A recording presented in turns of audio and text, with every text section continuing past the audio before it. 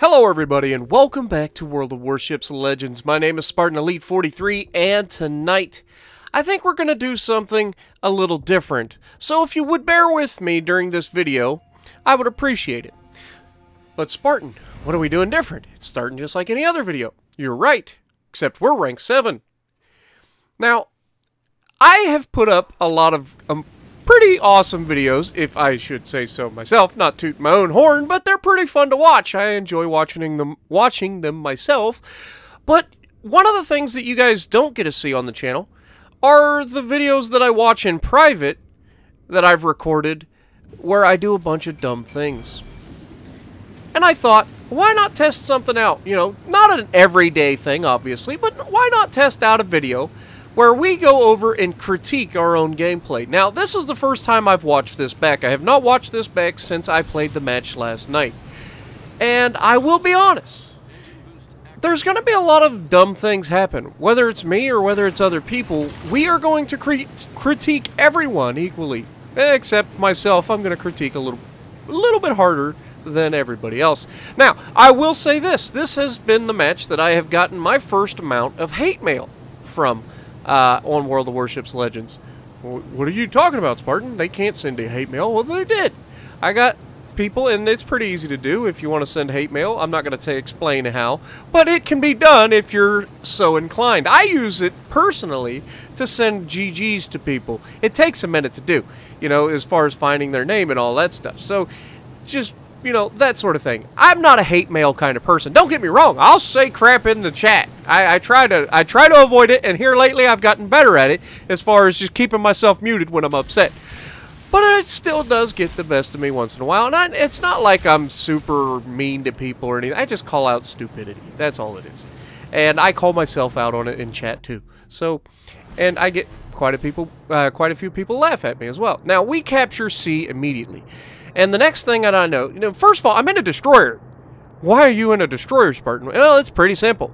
I can't get a decent destroyer to play on my team. Now, I say that. I have had good de destroyer players on my team. In fact, I had a guy, I can't remember his name right offhand, but we, we did really well together on shards. And uh, it was a fun match. Me and him literally solo carried the entire team. While our team sat behind a frickin' island in the back, the two of us just went out and wrecked shop. I ended up dying, of course, because I'm in a battleship, he's in a destroyer, but he avenged me and ended up pulling out the game. So it was it was a fun experience, but you don't get very many good destroyer players, and that goes for battleships too. So don't think I'm just hating on the destroyer players, but you don't get many good destroyer players in ranked battles right now. There are a few, and unfortunately I've run into a couple, and my luck is, you know, terrible. So you guys know how some of this ends up. Now, right off the bat, this goes horribly wrong. I let him get too close. He detects me. I then charge out of the thing to try to get him spotted. I've got the smoke going. Unfortunately, he's able to stay ahead of the smoke, and I'm unable to turn because I've got propulsion mod, so I can't turn very well. Uh, and we go like Tokyo drifting, and he is tearing me apart. He is not the only one tearing me apart. His teammates are helping them tear me apart. And finally, right as I get around the corner here, I'm just like, ah, screw it, I'll take a shot. And we get a good hit on him for, one, you know, one hit. 594 damage. Not a lot. I get it. The Fubuki is very capable as a gunship. Uh, it's got a slow reload, but the amazing high explosive that you get with Japanese ships in general. They have the best high explosive in the game. It ain't even close. The British are the closest ones to it, but the the French, or not the French, but the the Japanese high explosive is absolutely disgusting and terrifying if you're in a destroyer. Uh, we get two hits, and come on, are we going to get another? Nope, we got two hits with our destroy or with our torpedoes. We were throwing them out there, just trying to see what sticks. And the Mahan has taken a lot of damage, you know, also. And now we get a good salvo, finally 1,700 damage. And remember, the Mahan's got some decent armor, so we're doing 1,700 damage to a Mahan. But we're not giving ourselves up. He's using our smokescreen. And you can see, I thought he might just sit in there because he's taking a pounding. If he comes out, he's going to be dead. There's nothing he can do about it. And he come out. So, we're not going to hit him with the torpedoes, but he's not getting much further, and you can see the damage just start racking up as we get penetrations with that high explosive. Six penetrations, and uh, you know, it's just a matter of time before I finish him off. Really, I missed him. He gets more shots off. Ah, his team just wrecked me. That would be a cruiser. Uh, that hurt. And, come on, don't get hit, Spartan.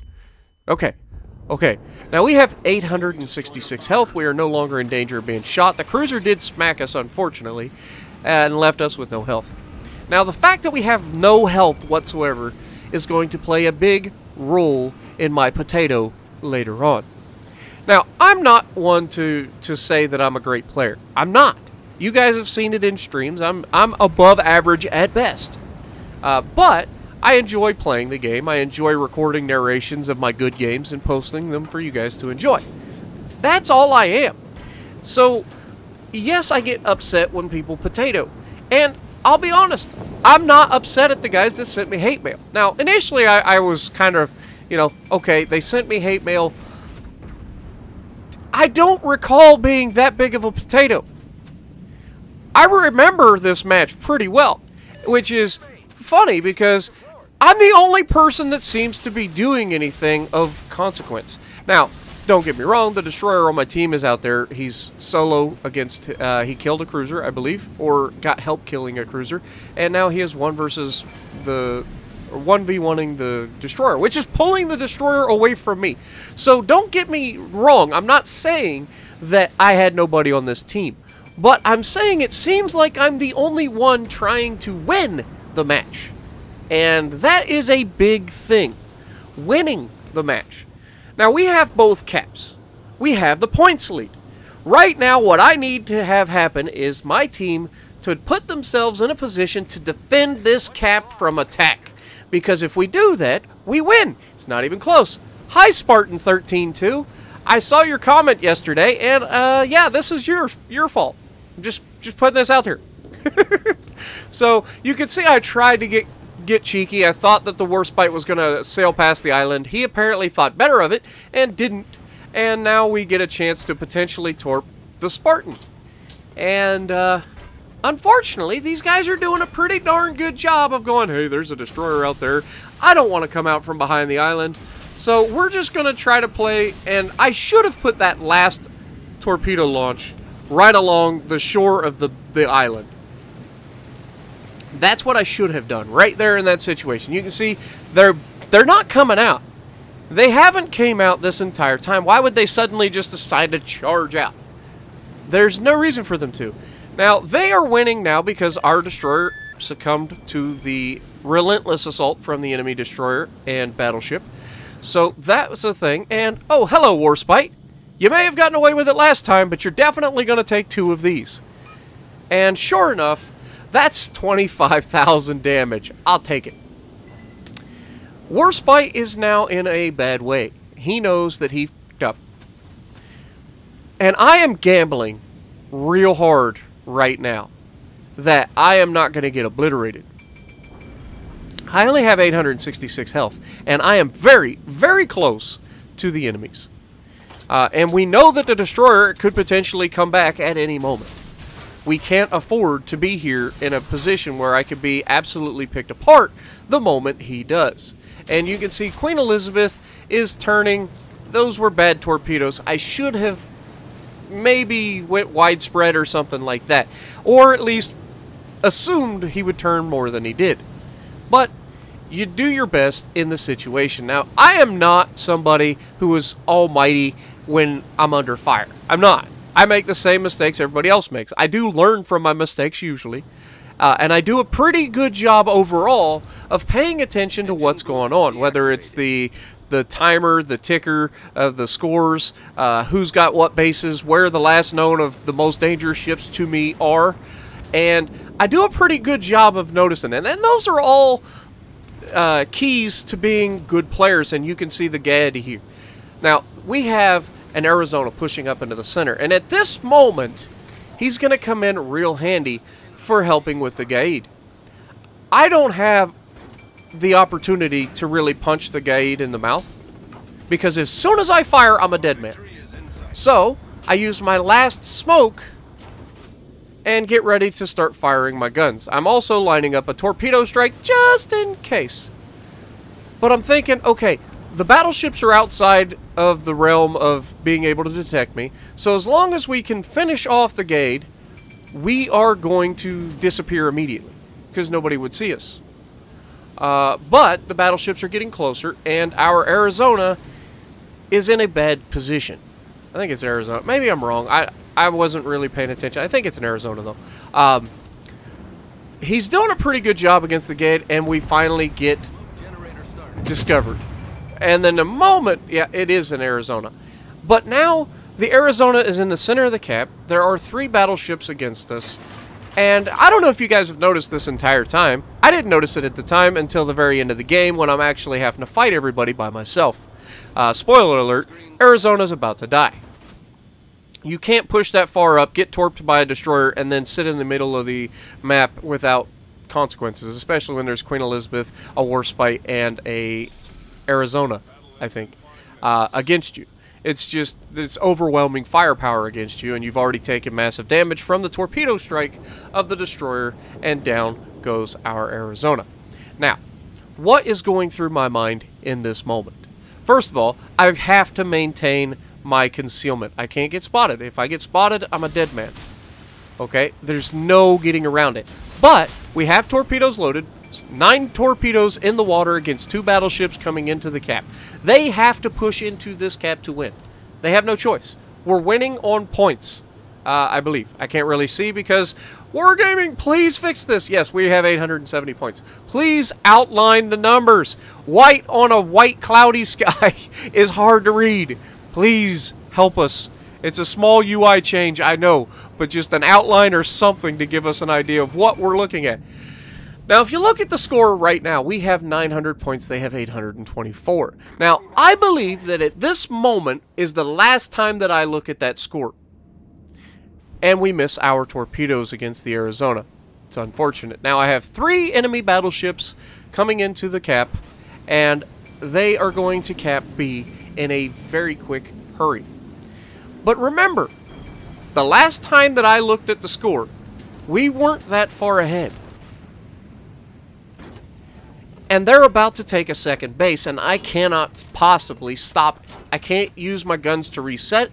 I can't uh, do anything other than hope for the best. So I launch one set of torpedoes at every single one of these guys, uh, trying to anticipate which direction they are likely to turn and also try to avoid crashing into this island so that I have a clear exit strategy to maintain distance. Because at this point, as you can see by the timer, even though they have two bases to our one, we are still likely to win this.